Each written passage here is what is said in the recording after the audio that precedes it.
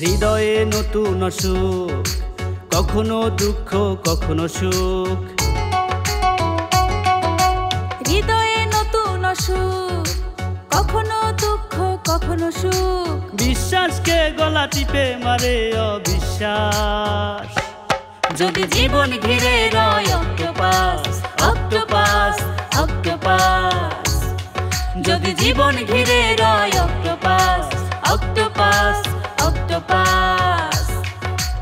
উদর পিণ্ডি উদর ঘাড়ে কাছের মানুষ যায় দূরে। উদর পিণ্ডি ঘাড়ে কাছের মানুষ যায় দূরে। দিন শেষে জমা হয় শুধুই দীর্ঘশ্বাস। যদি জীবন জুড়ে রয় অক্টোপাস অক্টোপাস অক্টোপাস। যদি জীবন জুড়ে রয় অক্টোপাস অক্টোপাস। অক্টোপাস শোনো না। তুমি এক কাজ করো। কি? তুমি না হয় কক্সবাজার চলে যাও। ঘুরে আসলে আনিকার সাথে দেখাটাও হয়ে গেল আর তোমার টুকটাক কাজ যা আছে সেগুলো সেরে আসলে। আচ্ছা এটা ভালো বুদ্ধি। আমি বিদেশে যাওয়ার আগে কক্সবাজার ঘুরে আসি একবার। আমি তাহলে সাহিলকে এখনই এস এম এস করে জানিয়ে দিচ্ছি যে আমি আজকেই কক্সবাজার রওনা হচ্ছি। সেটাই ভালো হবে। আচ্ছা লাস্ট ফ্লাইট কয়টায়? দাঁড়াও আমি জেনে নিচ্ছি আগে এস পাঠিয়ে দিই। ওকে জানিয়ে দিলাম। ফ্লাইটের খোঁজ নিই না আজই কক্সবাজার আসছে। দেখো যে আনিকার ভাইয়া কি লিখেছে? উনি আজকে কক্সবাজার আসছে। এখন বলো কি এটা কোনো কথা কি হবে? উনি চলে আসলে তো সব কিছু জেনে যাবে উনি। যেভাবেই হোক ওনার আশাটা আটকাও। আটকাও মানে আমি এখানে কক্সবাজারে উনি ঢাকায়। আমি এখান থেকে কীভাবে আটকাবো ওনাকে? একটা বুদ্ধি বের করো। কি মানে আমার আমার মাথায় কোনো বুদ্ধিই আসছে না। আমার কাছে মনে হচ্ছে আমার মাথার সমস্ত ঘিলু মানে জমে বরফ হয়ে গেছে। ওহো এই সময় তোমার এত টেনশন করলে চলবে? আর কি আশ্চর্য এরকম একটা সিচুয়েশন এর মধ্যে টেনশন না করে আমি ঠান্ডা থাকবে কি করে? মানে আমার আমার মনে হচ্ছে আমি পাগল হয়ে যাব সিম্পলি একটা কাজ করো। কি? আনিকার ভাইকে ফোন করে বলো ঠান্ডা লেগে আনিকার টনসিল অনেক বেড়ে গেছে। গলায় প্রচণ্ড ব্যথা আনিকা কথা বলতে পারছে না। বাধ্য হয়ে তুমি আনিকাকে হসপিটালে ভর্তি করেছ। ভাইয়া টেনশন করবে তাই ওনাকে তুমি খবরটা দাওনি। এখন যখন উনি কক্সবাজার আসছেন তাই তুমি বাধ্য হয়ে খবরটা দিয়েছ। আনিকা অসুস্থ হয়ে হসপিটালে আছে এটা যদি শোনে তাহলে ভাইয়া ভাবিকে সহ নিয়ে কক্সবাজারে চলে আসবে। আহা বলে তো দেখো। আমার মনে হয় যে আনিকার সঙ্গে কথা বলতে না পেরে উতলা হয়ে গেছে। আমার বিশ্বাস এই খবরটা শুনলে ওনারা কক্সবাজার আসাটা ক্যান্সেল করবে। হ্যাঁ খাদে যখন পড়েছি মানে পড়েই তো গেছি এখন তোমার বুদ্ধি শুনে দেখি খাদের আরও কতটা নিচে নামতে পারি।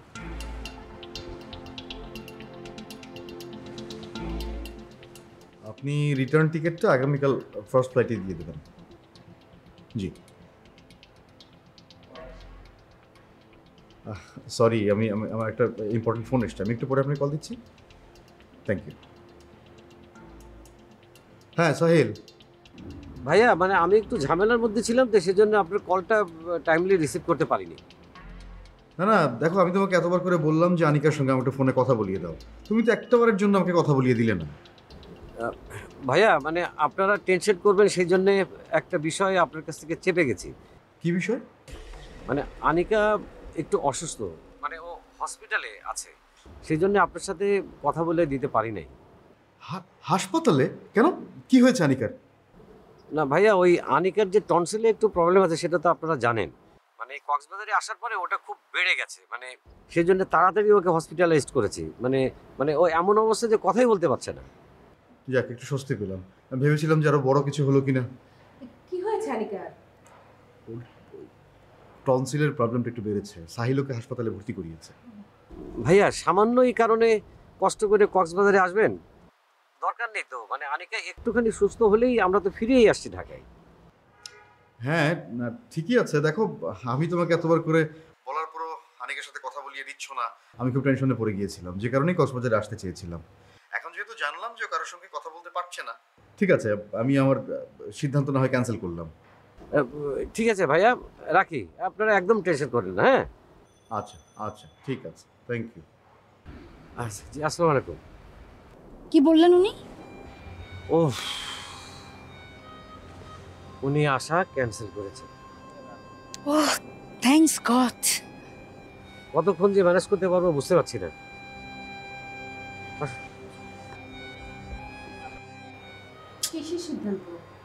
না ওই সাহিল বলল যে আনিকা নাকি টনসিলের প্রবলেমটা বেড়েছে হাসপাতালে ভর্তি করিয়েছে সাহিল।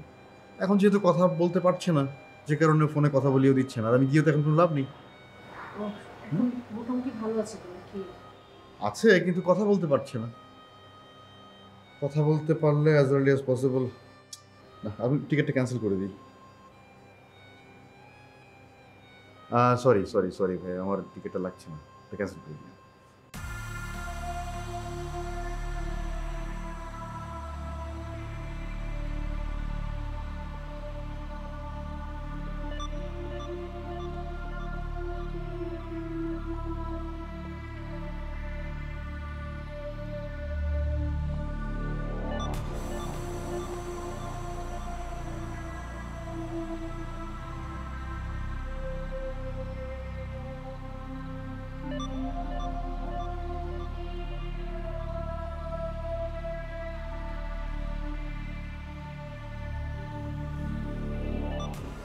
প্লিজ প্লিজ আপনি আপনি আপনি শান্ত হন আপনি প্লিজ আপনি রেস্ট নিন। দেখেন আমরা আপনাকে এখানে নিয়ে এসেছি আপনি এখন ঠিক আছেন কিন্তু আপনার রেস্টের প্রয়োজন। আপনি প্লিজ একটু রেস্ট নিন। কেন বাঁচালেন আমাকে আপনারা?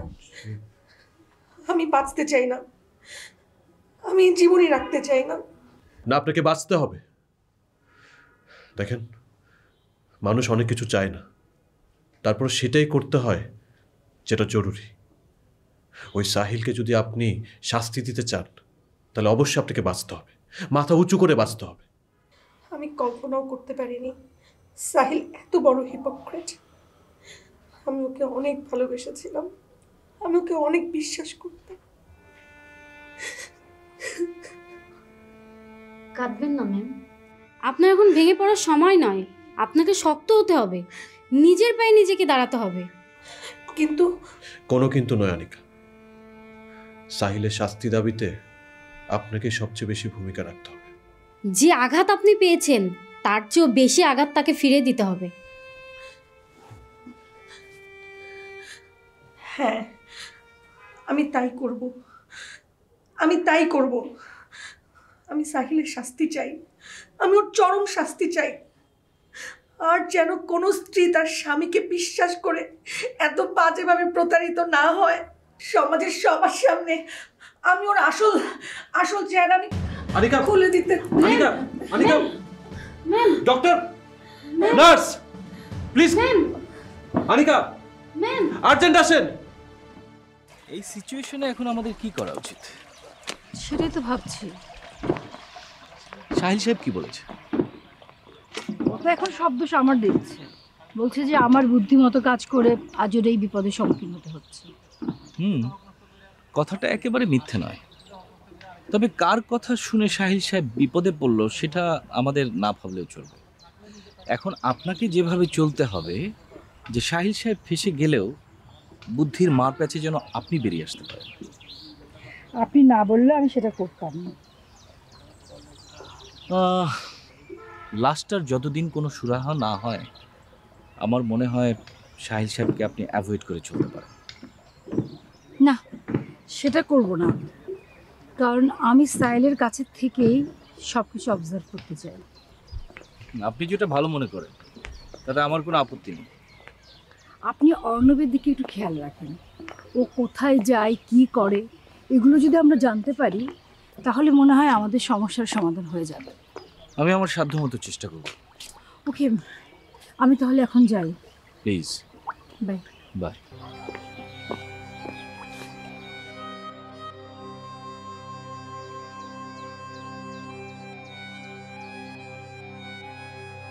কক্সবাজার অনেক ঘোরা হয়েছে সমুদ্র অনেক দেখা হয়েছে এখন চলো রুমে যাই কাপড় চোপড় গোছাও গ্রামে যামুগা। গ্রামে যাব কে? মোকে বেড়ানির মেয়াদ কি শেষ হয়েছে মেয়াদ শেষ হয়ে লোকের প্রথম আমার হিসাবে বেড়ানির মেয়াদ শেষ। অন চলো গ্রামে যামু তৈরি হও। মই যাব না। যাইবে না কে? এখানে থাকতে খরচা হয় এটা মাথায় ঢোকে না। যদি এখানে আরও থাকতে চাও তোমার বাপরে কাও টাকা পাঠাইতে। তুমি কি চাইলে খালি মোর বাপের কত কর মোর বাড়ির কথা কর হ্যাঁ টাকা দেবে কে থাকমু মোরা আরামাইশ করমু মোরা হ্যাঁ টাকা দিতে আইবে কে? আমার মেয়াদ শেষ তুমি কইতেছো মেয়াদ আছে। তাহলে তোমার বাপে টাকা দিব না? শোনো কথায় কথায় মোর বাপের কথা আনবা না। কই দেবা? কে আনলে কি করবা? কি করবা আনলে? হ্যাঁ কি করবা? কি করবা কও? আবার চুপ করে আছে? বেশি বাড়াবাড়ি হলে যদি বাড়ি ফিরে যায় আনে হ্যাঁ সেই কিছু না কই একটু নরম হই। কি করব কিছু করব না। এই যে সোজা হয়ে গেছে না? এক ধমকে সোজা। তোমাকে মেয়ে মানুষকে ভালোবাসাও মুশকিল বুঝছ? তোমাকে লগে ভালো ব্যবহার করলে মাথায় ওঠো। কুত্তারে লাই দিলে যেরকম মাথায় ওঠে এরকম তোমরাও। কি? কইলা কি তুমি? তুমি মোর কুত্তর লাগে তুলনা করলা? তুমি এটা কইলা কি? আরে দূরো আমি তোমার কুত্তা কইছি নাকি? আমি একটা উদাহরণ দিছি। উদাহরণ বুঝো না। আমি কইলাম কুত্তারে লাই দিলে মাথায় ওঠে তোমাকে মেয়ে মানুষের লাগে ভালো ব্যবহার করল তোমরা মাথায় ওঠো। এইটাই তো কথা। ও হইয়া। আমি তোমারে এবারের মতন মাফ করে দিলাম। ঠিক আছে। থ্যাংক ইউ এ কুত্তা আসালো উদাহরণ দিছি। আসো।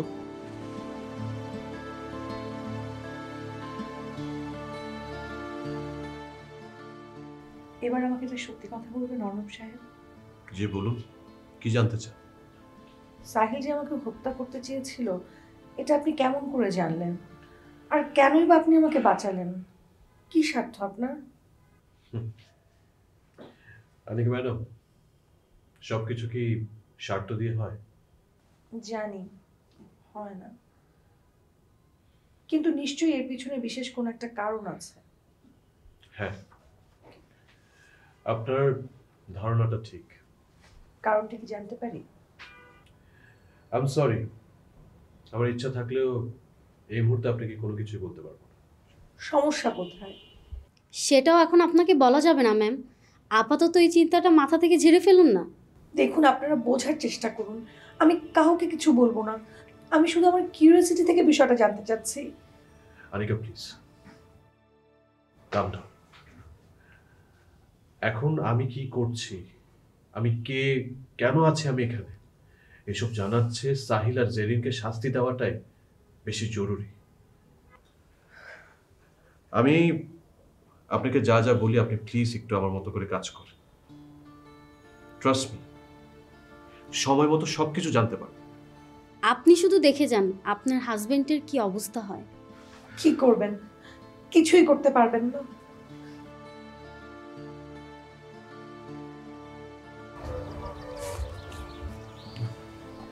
কি ব্যাপার নাদিয়া? একা একা এইখানে বসে আছো কেন? সাদিয়া কোথায়? জানি না। কতবার বলেছি তোরা দুই বোন কোথাও গেলে একসাথে যাবি। কিন্তু তোরা তো আমার কথা শুনবিই না। ভাইয়া আপু বাইরে বের হওয়ার সময় যদি একা একা আমাকে কিছু না বলে বের হয়ে যায় সেক্ষেত্রে আমি কি করতে পারি? তুমি না অকারণে আমার দোষ খুঁজো সবসময়। এই মেয়েটা পুরো স্বেচ্ছাচারী। নিজের যা খেয়াল খুশি তাই করবে। আর ফল ভোগ করতে হবে আমাদের পুরো পরিবারকে। আচ্ছা ভাইয়া আজকে বাইরে তোমার কাজ নেই? না। সাহিল সাহেবের ওয়াইফ ফিরছে কিনা এই ব্যাপারে কিছু জানোস না তো একটা জলজান্ত মানুষ হঠাৎ উধাও হয়ে কোথায় যাবে? বাদ দাও না। অন্যের ব্যাপার নিয়ে আমাদের এত ভাবার কি দরকার ভাইয়া? না তা অবশ্য নেই। কিন্তু একটা ভাবনা বারবার আমার মাথায় ঘুরে আসছে। কি ভাবনা বলো তো? সাহিল সাহেবের ওয়াইফ ফিরুক বা না ফিরুক রজব সাহেবের এটা নিয়ে এত মাথা ব্যথা কেন? কেন? তোমাকে কিছু বলেছে? আমাকে বলে সাহিল সাহেব তার স্ত্রীকে গুম করে ফেলেছে। আরে যে মানুষটা তার ওয়াইফকে এত ভালোবাসে সে তার ওয়াইফকে গুম করবে কেন? ভাইয়া এরা গ্রামের মানুষ তো তাই সব ব্যাপারে ওদের কিউরিসিটি একটু বেশি। এগুলো নিয়ে মাথা ঘামানোর কোনো দরকার নেই। ওনার ওয়াইফও এসে আমাকে এগুলো বলে গেল। এই দুজনের মাথায় সত্যি সত্যি একটু গোলমাল আছে মনে হয়। আমারও তাই মনে হয়।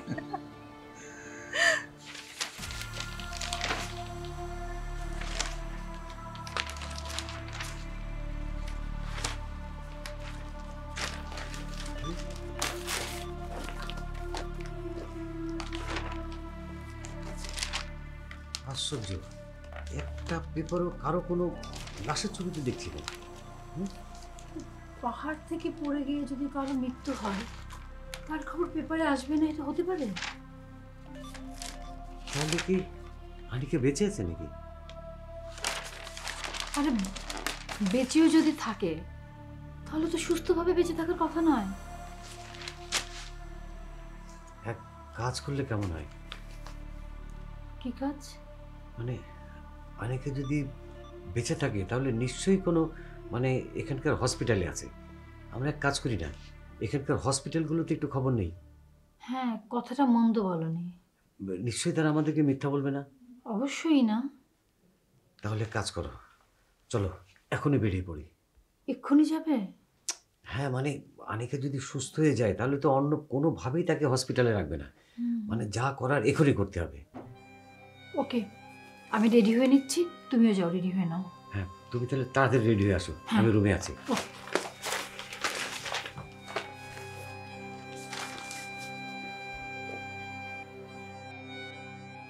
অর্ণব সাহেবকে দেখছি না। স্যার ইম্পর্টেন্ট একটা কাজে বাইরে গেছেন। ও কোথায় গেছে কখন ফিরবে কিছু জানিয়ে গিয়েছেন জি না।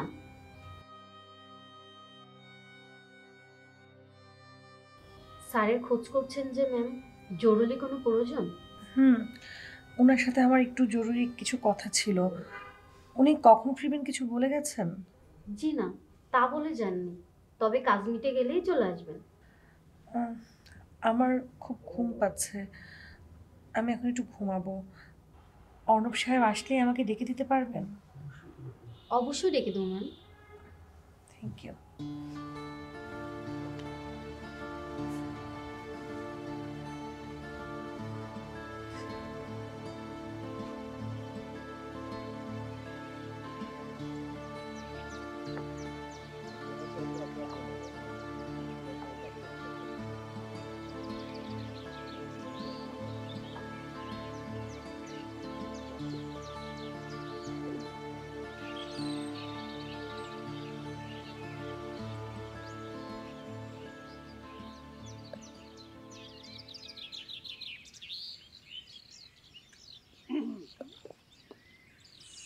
কি ব্যাপার? আজকে খুব মন খারাপ মনে হচ্ছে? এত গম্ভীর চুপচাপ বসে আছেন। আর ওকে কোনো সমস্যা? না কোনো সমস্যা হুম হুম। না বললে তো হবে না। দেখেই বোঝা যাচ্ছে কোনো সমস্যা। আচ্ছা আপনাকে একটা সত্যি কথা বলি? এই যে আপনি যে চেহারাটা করে বসে আছেন এই চেহারা আপনার সাথে একদমই যায় না ট্রাস্ট মি গত রাতে আপনি আমাকে কি কথা দিয়েছিলেন আপনার কি মনে আছে? হ্যাঁ মনে আছে মানে আমি বলেছিলাম যে আপনাকে আমার সঙ্গে করে নিয়ে যাব। আর যদি যেতে না পারি এটাও বলেছিলাম যে আমি আপনাকে ফোন করে জানিয়ে দেব বাট আপনার কি মনে হয় আপনি কি আপনার কথা রেখেছেন? সরি আপনার কাছে আমার এবং আমার কথার তো কোনো মূল্যই নেই। জি। হাত ছাড়ুন। যদি না ছাড়ি? হাত ধরার মতো একটা অধিকার লাগে। রিয়েলি আপনি বলতে চাচ্ছেন আপনার হাত ধরার অধিকার আমার নেই? এরকম কিছু? না নেই। আমি যদি বলি আছে সেটা আমার জানা নেই। জানা নেই? নাকি না জানার ভান করছেন? কোনটা?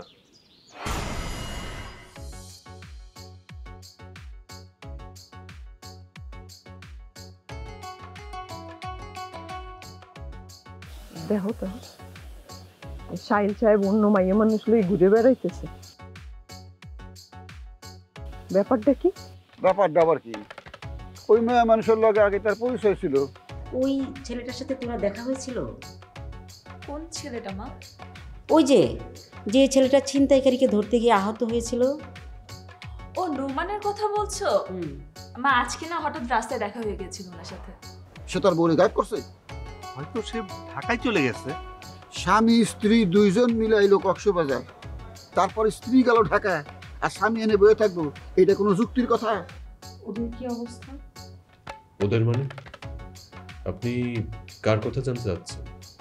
সাহিল আর জেরিন। দুজনে এখনও বহাল তবিয়তে আছে।